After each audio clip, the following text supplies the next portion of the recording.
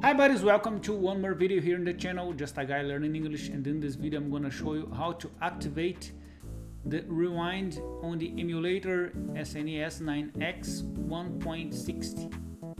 Uh, first thing you have to do is check if uh, what key is set to rewind. Okay, go to input, customize hotkeys, and now go to page 2 here. Okay rewind. R okay in my case the R key is set to rewind. Okay uh, next step go to emulation. Go to settings.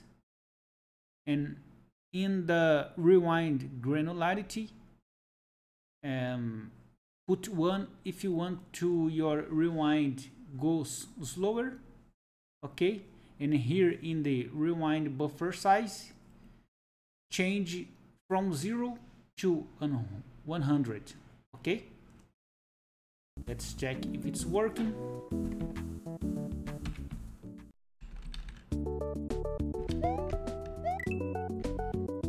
Okay let's die.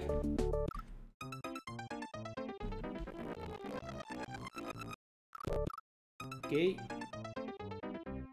if you check here uh, the rewind it it's slow. Okay let's live faster. Uh, go to emulation settings. Okay if you want faster in the option rewind granularity uh, increase the number. Okay let's put 20 okay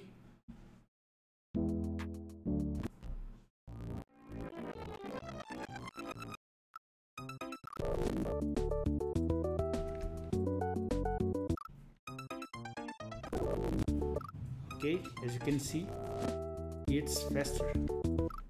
Rewind. Okay buddies i hope you enjoyed this video. Thumbs up if you liked and till the next one